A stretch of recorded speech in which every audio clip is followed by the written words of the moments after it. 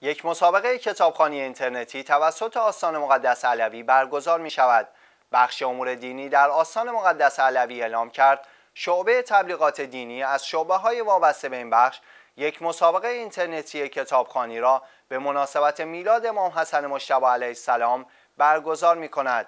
شیخانی الکنانی مسئول این شعبه گفت مسابقه اینترنتی کتاب صلح امام حسن علیه السلام در چارچوب طرح آسمان برای اصلاح امت همزمان با نیمه ماه مبارک رمضان که میلاد امام حسن مشتبه علیه السلام است برگزار می شود. الکنانی افزود این کتاب شامل اطلاعات مهمی درباره زندگی سید جوانان اهل بهشت امام حسن علیه السلام است.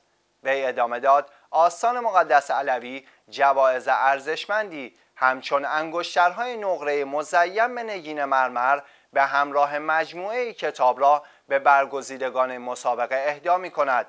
همچنین مسئولان این آستان مقدس از طرف همه شرکت کنندگان در این مسابقه زیارت نیابتی انجام خواهند داد. علاقمندان برای شرکت در این مسابقه می توانند برای کسب اطلاعات بیشتر به پایگاه اطلاع رسانی آستان مقدس علوی مراجعه نمایند.